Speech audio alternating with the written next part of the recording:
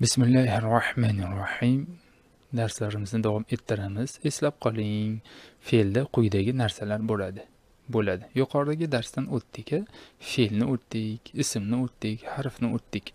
Ana endi bu yerda esa fe'lni batafsil bizga tushuntirib beradilar. Ho'p fe'lda quyidagi narsalar bo'ladi. Birinchisi zamon. Qaysi zamonda? O'tgan zamondami? Hozirgi zamondami? Kelajakdami? Tushunarli? Shu ikkinchisi shaxs. Kim? Masalan men sen u ular bizlar sizlar. Mana shu shaxs. Uchinchisi son. Men bitta o'zim. U ikkalovi ko'pchiligi sizlar ko'pchilik sen bitta o'zing sen ikkoving mana shular.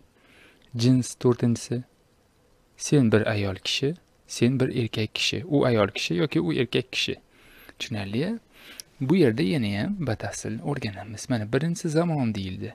O'tgan zamon mana madin mudorion hozirgi zamon holati mudorion mustaqbalun bu kelasi zamon mana. Tushunarli mana o'tgan zamon masalan akala yedi zamon. Qachon yedi? O'tgan zamonda yedi. Mana bu zamon deyiladi. Masalan keyingisi yakulu yeyapti. Bu ham zamon hozirgi zamon.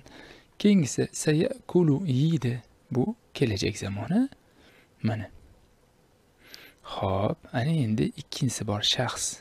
Mutakallimun. Mutakallimun men masalan ana men birinchi shaxs. Mutakallimun deyilsa birinchi shaxs nazarda tutiladi arab tilida. Ana men masalan. Ikkinchisi muxotobun bu ikkinchi shaxs. Ikkinchi shaxs anta sen bo'ladi. Tushunarli.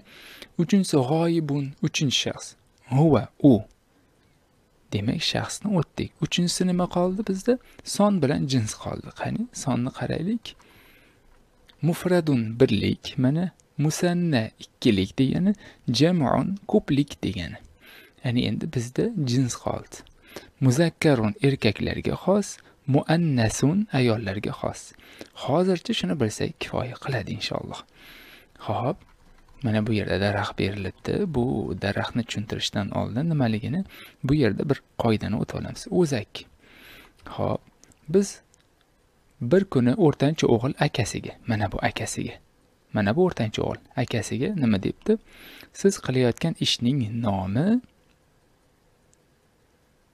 mana ishning nomi yozmoq mana yozyapti to'g'rimi?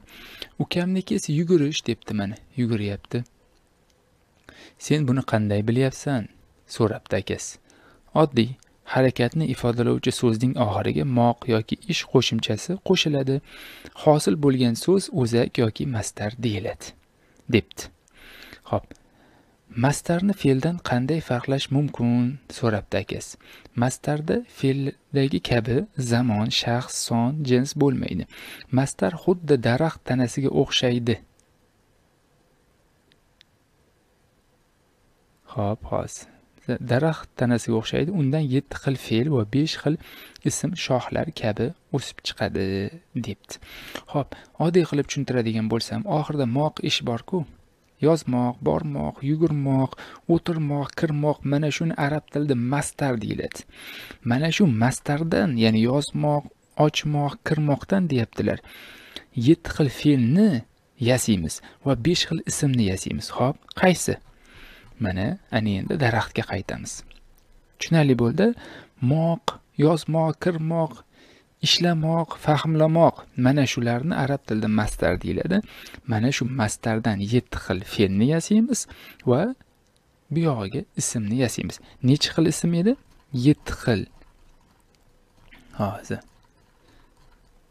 Yetti xil fe'l besh xil ismni yasay ekanmiz.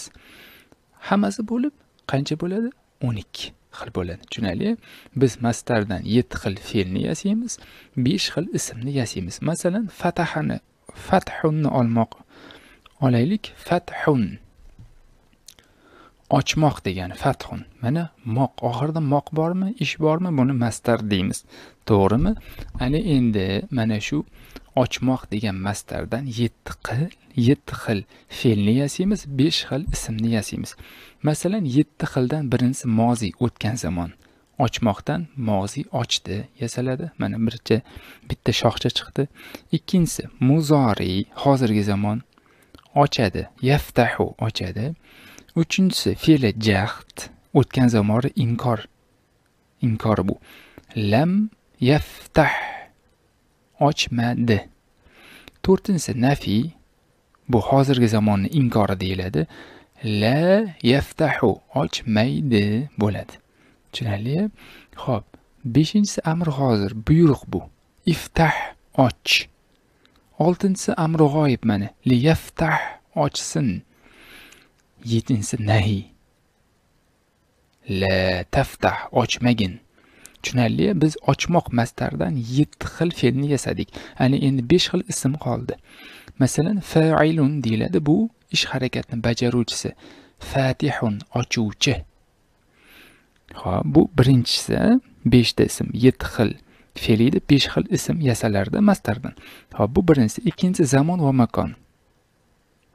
Hmm? Qachon ochilgan? Qachon ochilyapti? Zamon va makonda masalan maftahun ochiladigan payt yoki yoki ochiladigan makon. Mana ikkinchisi uchinchisi maftuhun mana maf'ulun ochilgan narsa. Ish uni ustida bajarilgan masalan maktubun xat borku maktub yozib bo'lingan. Ish uni ustida bajarilgan deyiladi. Masalan maftuhun ochilgan masalan eshik ochilgan desak albabu maftuhun deymiz. Kimdir ochib qo'ygan to'g'rimi? Ho'p bu nechinchisi bo'ldi? Uchinchisi bo'ldi. Hop to'rtinchisi olat ya'ni asbob degani buni. Ismi olat deyiladi asbob. Masalan miftahun kalit degani. Ochuvchi asbob miftahun kalit to'g'rimi? Yettinchisi mana bir yo yettinchisi emas beshinchisi bir ikki uch to'rt besh. Tafdil ya'ni ish harakatni sherigidan ko'ra ortiqchiroq ya'ni ish harakatni sherigidan ko'ra ortiqroq bajaruvchining nomi masalan aftahu ochuvchiroq bo'ladi. Masalan akbaru kattaroq. Men sendan kattaroqman borku. Ho'p asosiysi moq ish. Nima deyilarkan arab tilida? Mastar deyilarkan mana shu mastardan biz yetti xil fe'lni yasaymiz besh xil ismni yasaymiz. Tushunarli ho'p bugungi darsimiz shundan iborat ekan.